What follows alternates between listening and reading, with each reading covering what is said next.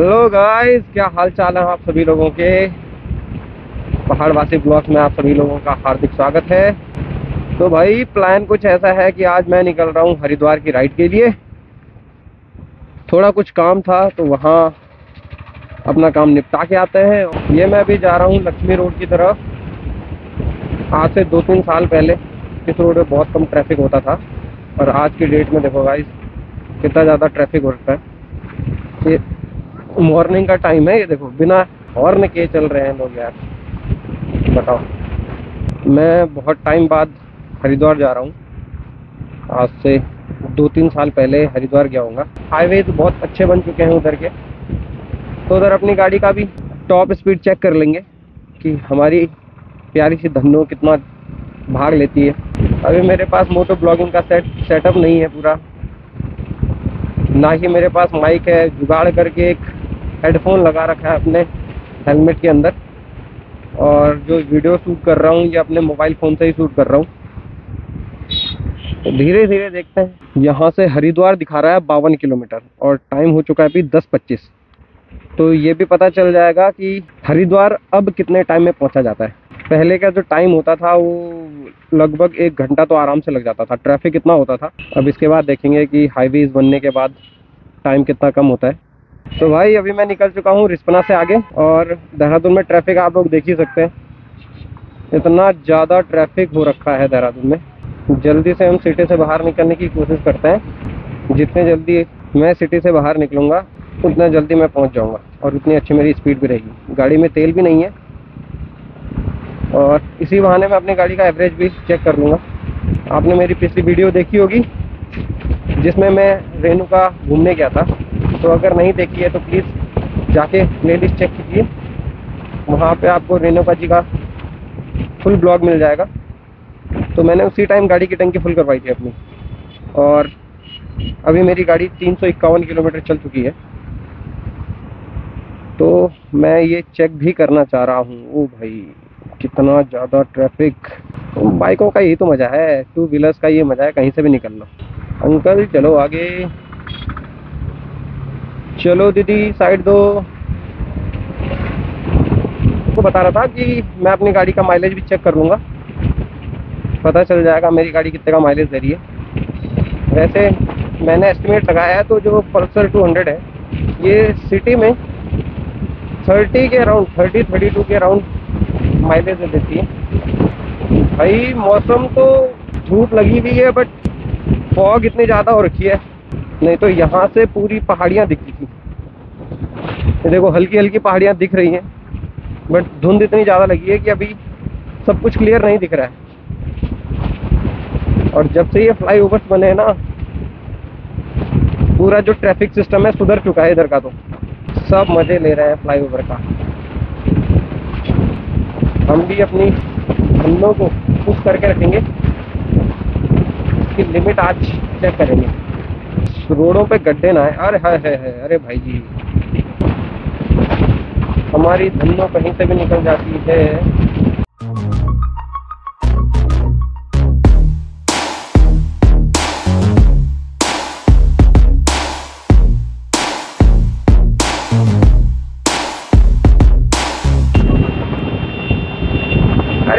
क्या कर रहे चल ले। ऐसे कैसे लोग रहते हैं यार?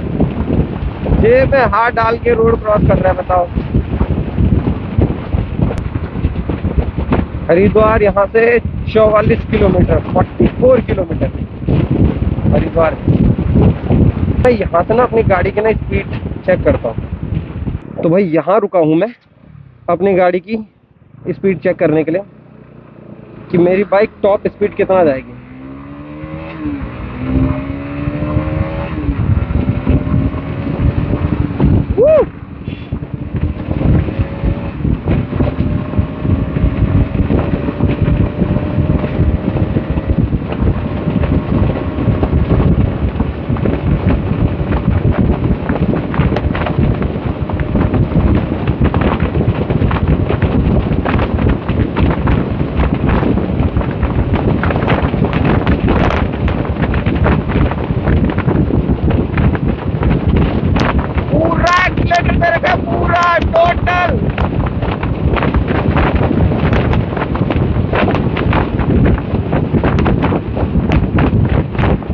मज़ा आ गई का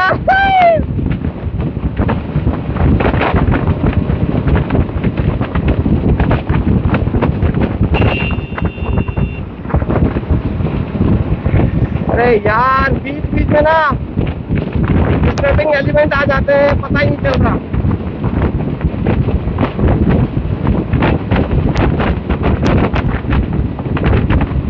भाई साहब यहाँ से और टैक्स तक मज़ा आता है ना गाड़ी पे।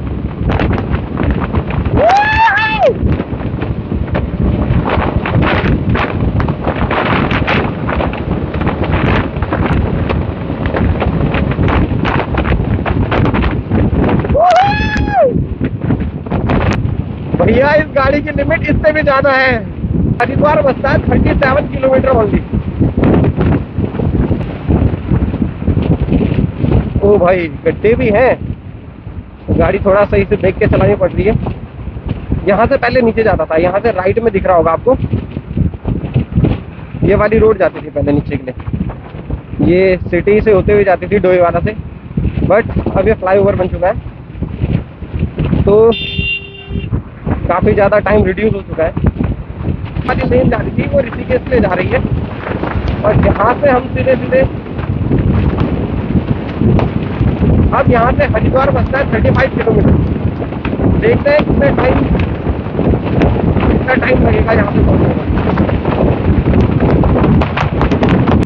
तो यार, गाड़ी का पेट्रोल हो चुका है ख़त्म। अभी ना फ्यूल अप करते हैं। ये एक्स्ट्रा प्रीमियम नहीं है? अरे यार। अब इसके बाद पेट्रोल पंप कहाँ मिलेगा? दो किलोमीटर आगे। ठीक है। यार, मैं अपनी गाड़ी में एक्स्ट्रा प्रीमियम पेट्रोल डलवाता हूँ। और अभी यहाँ मिला नहीं मेरे को तो आगे देखते हैं। उन्होंने कहा कि दो किलोमीटर आगे है। तो दो किलोमीटर तक तो खींच ही लेगी गाड़ी। इतना तो भरोसा मुझे बंदों पर तो भैया, आ चुके हैं यहाँ पे, और पेट्रोल यहाँ मुझे नहीं लगता यहाँ एक्स्ट्रा प्रीमियम है। भैया एक्स्ट्रा प्रीमियम होगा? टंकी फुल कर दो। पेट्रोल फुल गाड़ी की हवा भी फुल और अब चलते हैं यहाँ से हरिद्वार की तरफ़। Road check all clear and let's go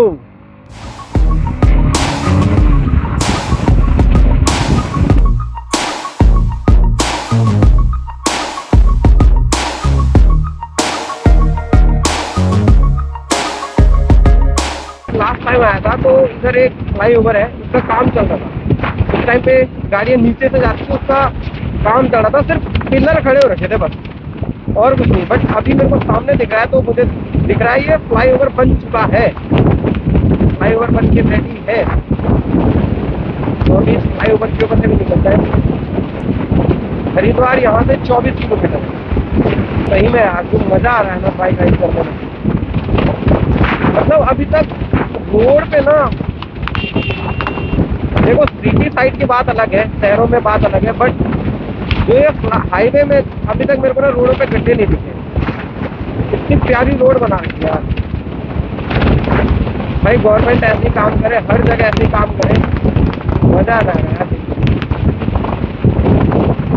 मतलब हाँ, अब ये दिख रहा है सामने नेपाली फार्म का फ्लाईओवर यहाँ की बात कर रहा था मैं, यहाँ पे मेरा बहुत ज़्यादा ट्रैफ़िक लगता था, बहुत ज़्यादा। बट अब यहाँ का भी ट्रैफ़िक खत्म। देखो, पूरी रोड खाली खाली नहीं लग रही यार। भयंकर काम हो चुका है ये देखो, ये पुरानी रोड इधर से जाती थी भाई, जब मैं लास्ट टाइम आया था मैं इधर से गया था। हरिद्वार तेरह किलोमीटर। क्या बात है, क्या बात है, क्या बात है। अरे वाह।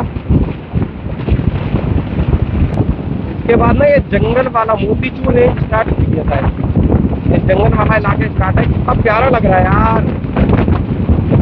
दोनों तरफ़ पेड़ ही पेड़, हरियाली और बीच में जो तुम निकल रहे हो ना, यार, क्या मज़े है यार। हाय हाय, जो हवा चल रही है, प्यारी प्यारी, ठंडी ठंडी हवा। और तुम बैठे हो प्यारी सी बाइक के ऊपर, यार, इतनी प्यारी बाइक है वाह।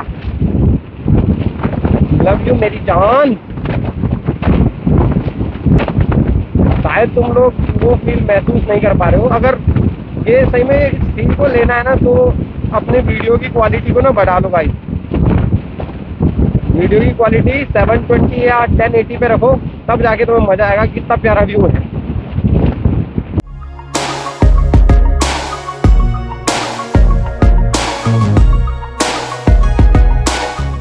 सिटी के अंदर आते ही हमारी ना स्पीड एकदम 40 50 पे आ रही है। वहाँ हाईवे पे देखो क्या मज़ा आ रही है। अरे बच्चे, अंदर हो जा, अंदर। आ गया हूँ, आता हूँ आता हूँ जाए। बच्चा बुला रहा है तो चलते आगे। चलो। बढ़िया, मज़े में। हाय कर दे, हाय। हाय कर दे। अबे, अंदर हो जा, अंदर।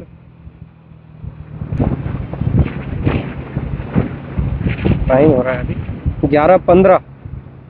ग्यारह पंद्रह। मतलब सही टाइम पे पहुँच गए यार